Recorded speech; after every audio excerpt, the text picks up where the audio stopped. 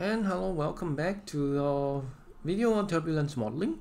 We'll continue our discussion on large eddy simulation, the dynamic Smagorinsky model. And in the last video, uh, we are talking about uh, the first round of filtering. And I just want to make uh, two points of clarification here, because I think I might missed out something in the last video. First is that this Sij, uh, this is actually, what does it represent? It's uh, Normally we write Sij as half of this, as half of this, right? But uh, want you to know, um, for calculation of this uh, um, kinematic uh, subgrid's uh, um, viscosity, we need to use the filtered bits of the velocities here inside our our modeling uh, coefficients here and not the full the full actual velocity of the thing because we are not able to calculate any bit of that. So we'll need to always use the filtered parts. Second of all, um, I said that uh, this this uh, tau ij minus this tau kk blah blah blah equals to this and I said that tau ij equals to uh, this over here. Now that is not exactly complete uh, and um, there's actually one more term that needs to be considered here. So what is that term? Uh, I'll continue like right now. So, okay. Now we have already uh, discussed previously that this tau ij, this subgrid stress tensor, the subgrid tensor is equals to this Reynolds subgrid tensor, which is this part, the part with the unfiltered or subgrid velocities, and the cross stress tensor term which is the part between the filtered and non-filtered uh, velocity parts. Okay, so if we were to expand, let's say this out, okay, let's go back and make one more adjustment. There needs to be one more adjustment. Okay, so this is uh, what we have here. And we basically expanded this convection term into these four terms over here. Okay, so we have these four terms over here. Okay, and okay, gotta wait, yeah. And then we'll just apply this del by del xj to all of this. Okay. All right, and then this will be our Reynolds stress terms and then uh, our cross stress terms. Now problem is we can't calculate this term directly because we kind of need to put a filter on it. What we actually want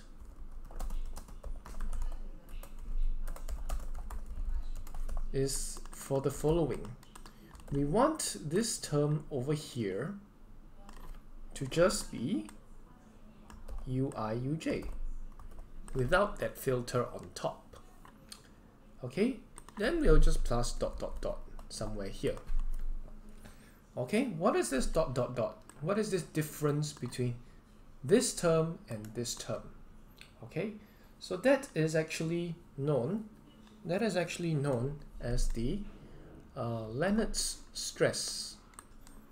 Yeah, what is the difference between this and this? This is actually known as the Leonard's stress uh, tensor, okay, or Le Leonard's decomposition. So this one will be found here. You find it in the filtered governing equations at this part. So you'll see that uh, okay, there's a difference between this term and this term, and that's actually the Leonard's term. Okay, now, so uh, this is also known as Leonard's decomposition because having a term in this term uh, it doesn't allow us to solve for the Navier-Stokes equations using like CFD code or whatnot, what have you.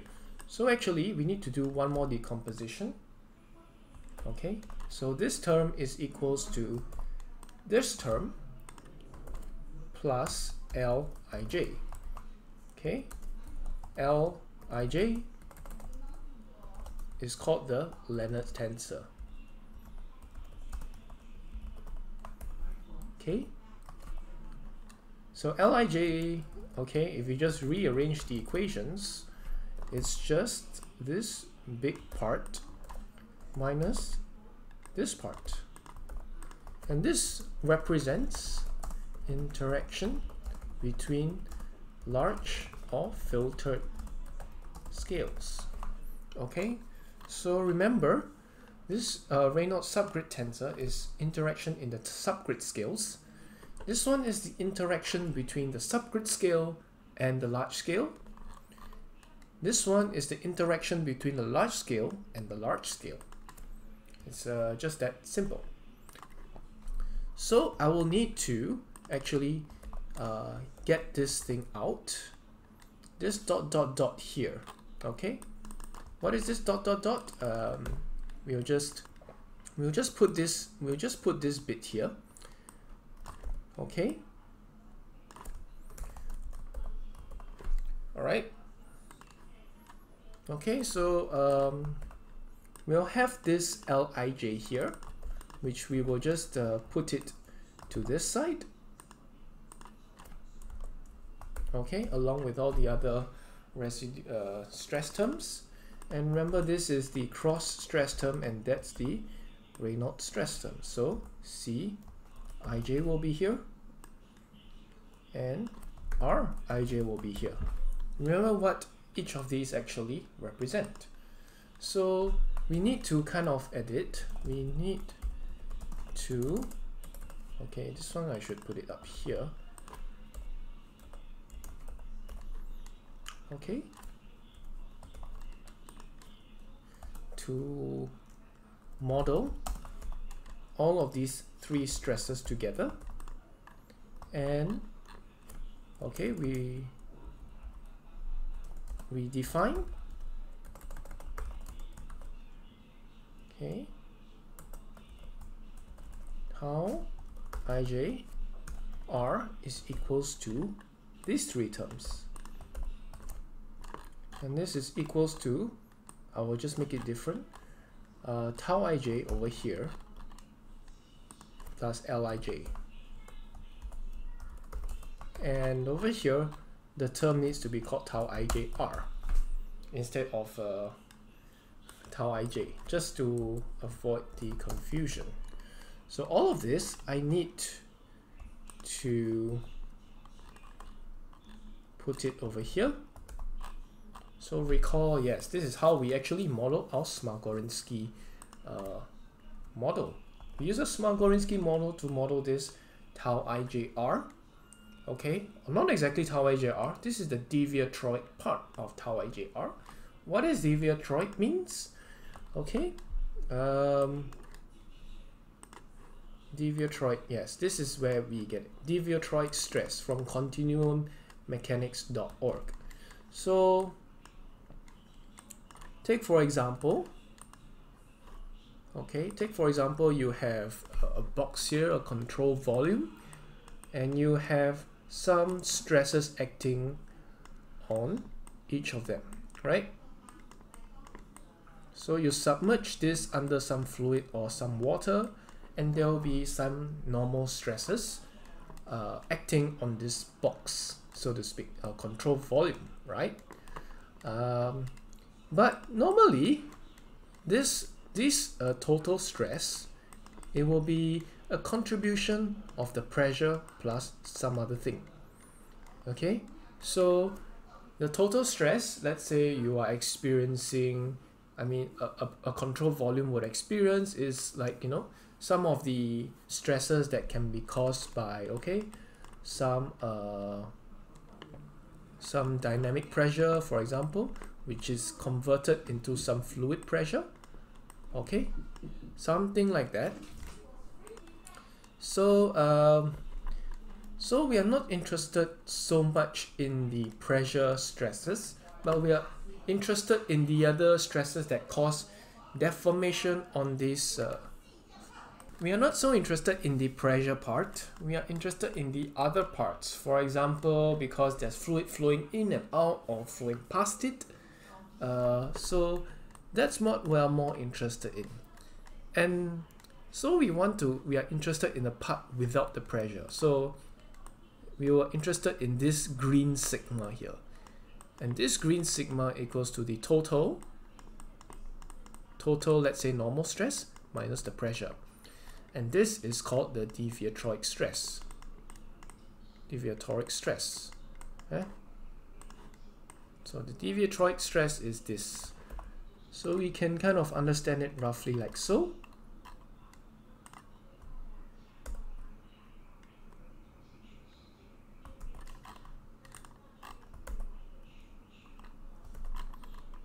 Okay.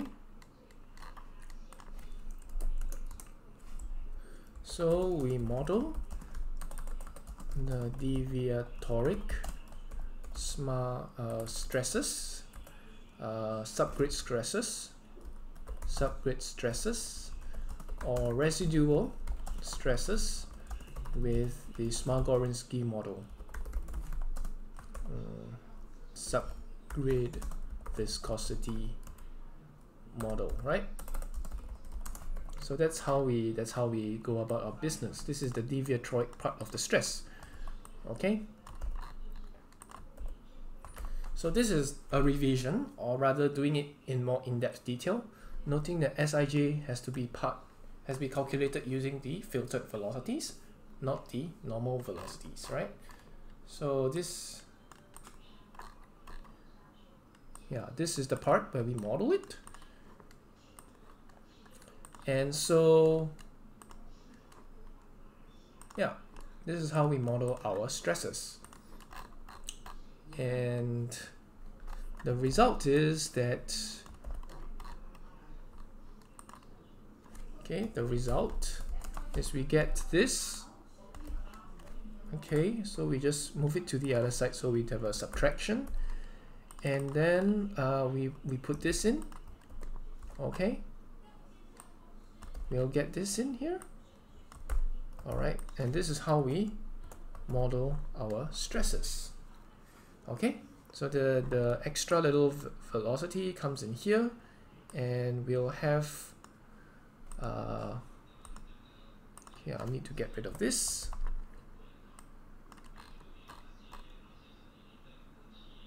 okay all right I think I missed out a density term somewhere there yeah. Okay, I think I missed out a density term. Okay, uh, because all of these are not uh, without the density terms. So actually we'll need to multiply the rho into this. Then we can say, yeah, this is actually the, uh, yeah,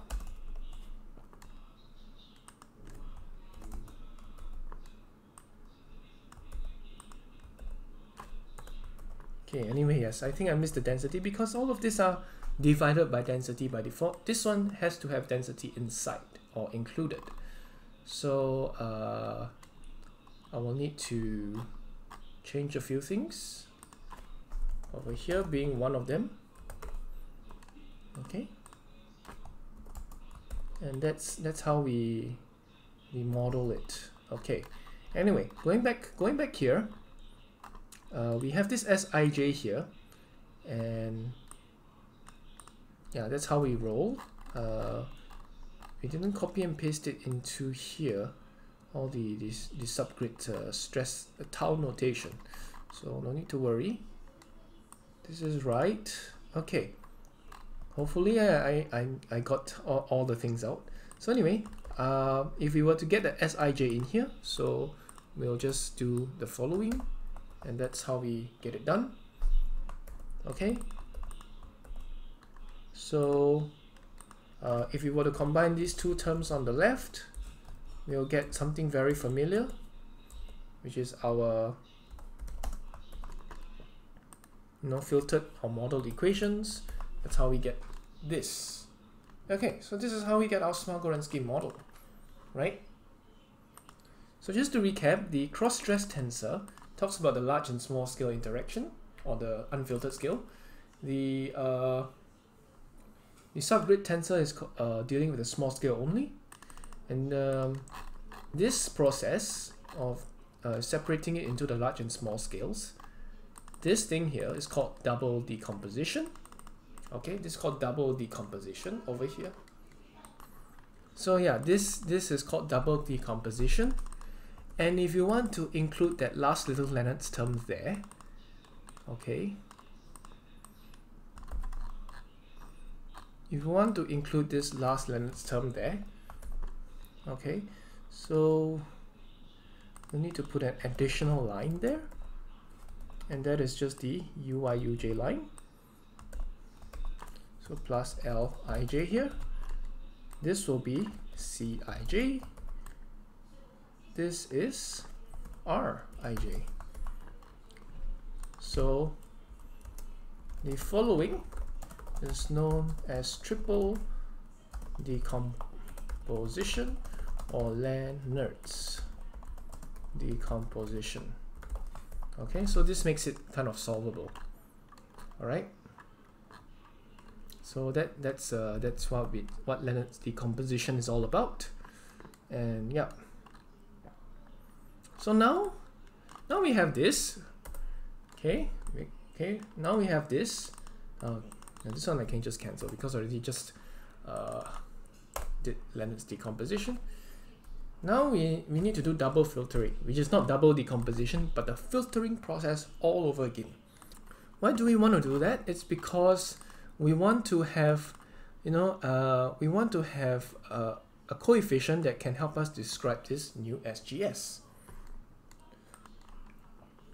Okay, so the, the fact is we'll need to uh, filter everything again. So we need to do a second round of filtering to determine CD or CD equals CS squared, right? We wanted we wanted a way to determine this C Smagorinsky, right? C Smagorinsky, or I just use CD for short.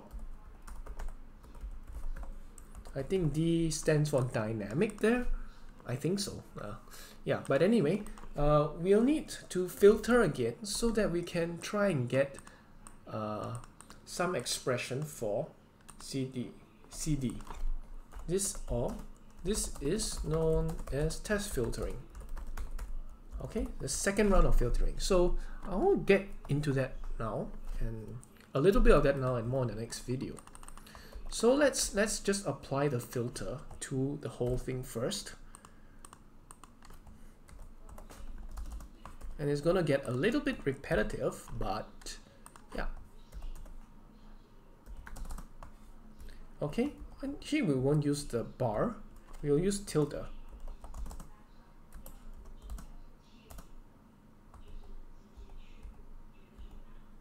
We'll use tilde across everything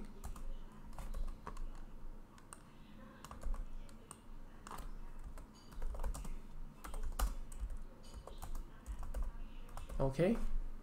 Okay the, the, Microsoft equation and the tilde doesn't really stretch very far.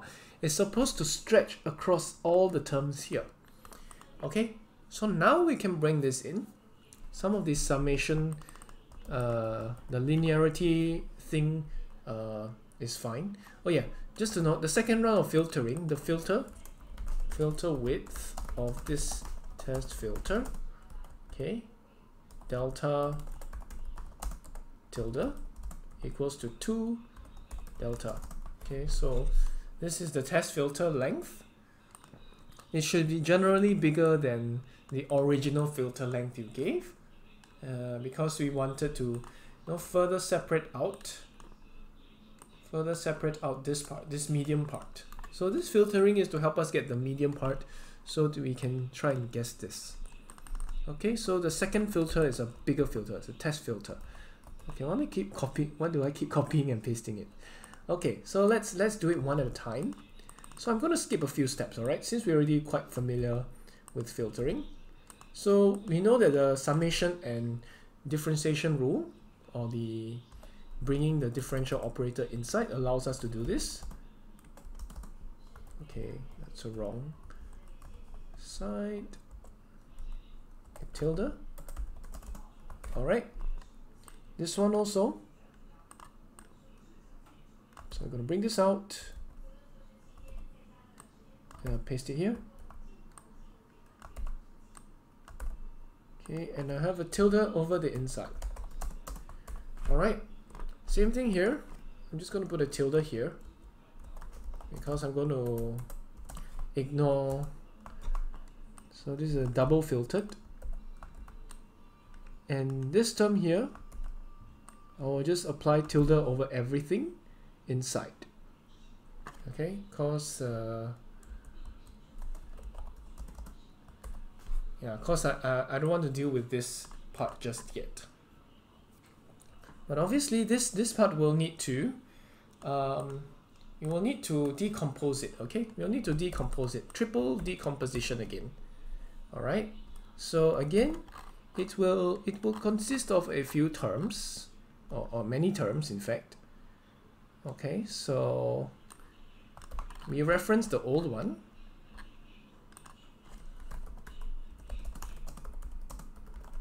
Our first round of filtering. First round of filtering. Okay so this term will be all of this here okay. And this instead will be tilde.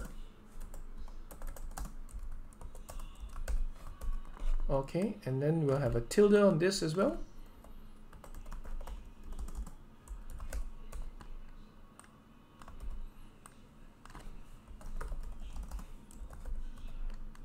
And then last one is this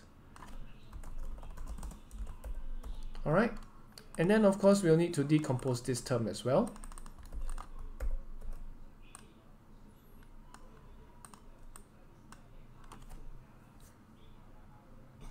Okay.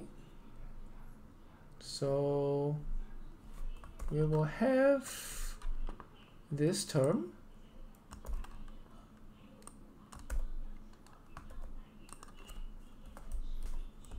plus some big L term, right? Similar to the Leonard's term. Okay, except that we don't exactly call it the same term. If not, it'll be very confusing. And, and anyway, it means something a little bit different. Okay, it means something a little bit different. So we'll use a letter like L. We'll use a letter like L, C, and R, but we'll use a different letter this time. So I'm going to look for letter-like symbols, look for something that looks like an L. So where is the L? Yeah, okay, this this one looks La okay, it's supposedly for Laplace transform, but I'll just use this L here. Hopefully, or I can use a Greek letter. Okay, Greek letter doesn't really have anything. I'll just use L. This Laplace looking thing here. Script L, ij, which is the equivalent of the Leonard's tensor. Okay. So for our second round of filtering, okay, we will have this Lij here. Then we'll have this one for the cross terms. So again, we will need to use another C looking like a letter. Hopefully I can find something. Okay, this one looks decent. Okay, or maybe a script C. Okay, the script C looks good enough. And then this one will be, I can use a script R.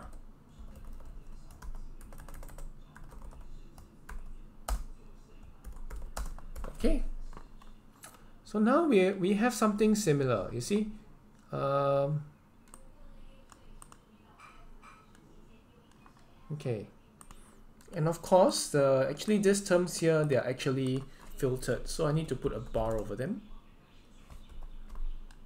Here. Because they are they are filtered the first time but not filtered the second time.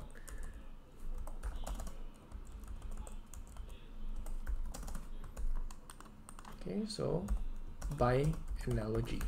And what is the what is the decomposition uh, we'll need to do it like so. Okay. U bar equals to the double filtered double filtered. Okay. Okay u bar tilde. Tilde plus u prime bar. So this is how I will notate so this is the second round of filtering. This is the unfiltered part. Okay the second part. Okay so let me just uh, quickly put a bar over each of these and then I'll just call it a day. Okay so these two will have bars over them. Okay so that that's it. Okay this is how we do a so-called second round of filtering all right and then we will have this uh, similar Leonard's terms the cross term and the Reynolds term again but these are for different scales so I'll use a different notation this time. Okay so I'll stop here. Thanks for watching see you guys next time. Uh, hopefully this brings some clarity into what double filtering is all about and the Leonard's uh, decomposition. Thanks for watching I'll see you guys next time. Bye bye